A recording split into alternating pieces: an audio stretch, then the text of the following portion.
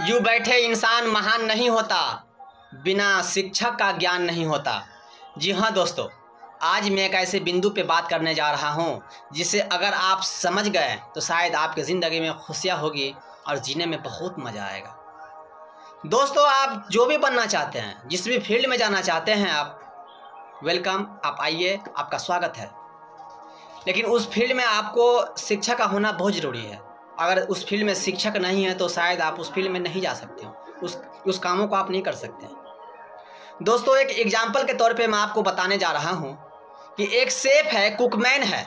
अगर उस कुकमैन जो खाना बनाने में एक्सपर्ट है, अगर उसी के बताए हुए रास्ते पे, उसी के बताए हुए हिसाब से अगर आप खाना बनाते हैं, उसी के बताए हुए तरीका से अगर आप खाना बनाते हैं तो शायद आपका भी खाना ठीक उसी तरह टेस्टी होगा, जिस तरह उस सेफ़ का होता है, उस कुकमैन का होता है। दोस्तों, आप पेंट लाइन में काम करते हैं।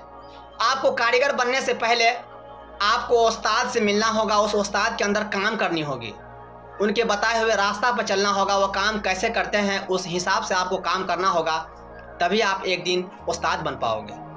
दोस्तों, मेरे कहने का मतलब यह है कि आप जिस भी फ़ील्ड में जाना चाहते हैं, जो भी बनना चाहते हैं, जो भी करना चाहते हैं आप, उस फ़ील्ड में किसी इंसान का अपना शिक्षक, अपना आदर्श मान करके उस फ़ील्ड में आप घुस जाइए। कामयाबी एक न एक दिन ज़रूर मिलेगा।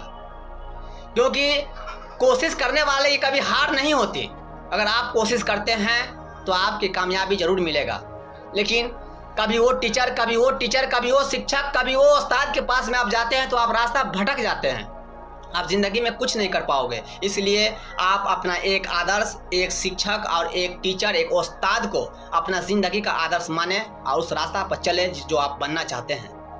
दोस्तों, अगर हमारा वीडियो आपको अच्छा लगे तो हमारा वीडियो को लाइक करें कमेंट करें सब्सक्राइब करें। फिर मिलते हैं अगले वीडियो में। जब तक के लिए जय हिंद, जय भारत।